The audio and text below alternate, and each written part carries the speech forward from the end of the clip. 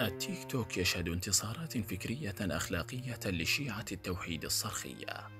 في تحد واضح وصريح للمهدي محمد بن الحسن العسكري وللمراجع وأتباعهم من الشيعة القبورية. شهدت منصات التيك توك محاورات ومناظرات فكرية بين الشيعة الموحدين والشيعة القبورية ممن يعتقدون بولادة ووجود المهدي محمد بن الحسن العسكري حيث وقفوا عاجزين أمام أسئلة البث التي يطرحها الموحدون والتي تطالب بآثار المهدي إن كان موجودا.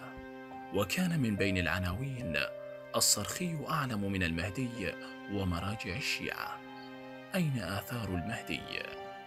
والملفت أن المدافعين عن المهدي الغائب يجدون أنفسهم عاجزين تماما عن الإجابة عن السؤال.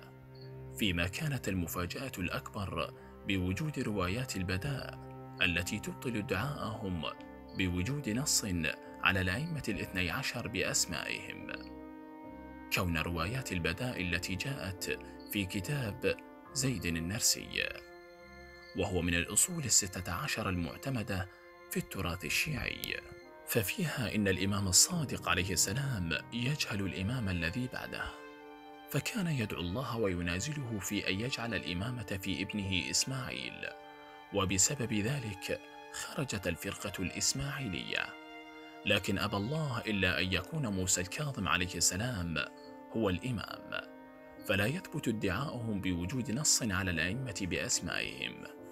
فضلا عن الاستدلال بالشواهد القرآنية التي تؤكد سيرة وحياة عيسى عليه السلام والعبد الصالح الخضر.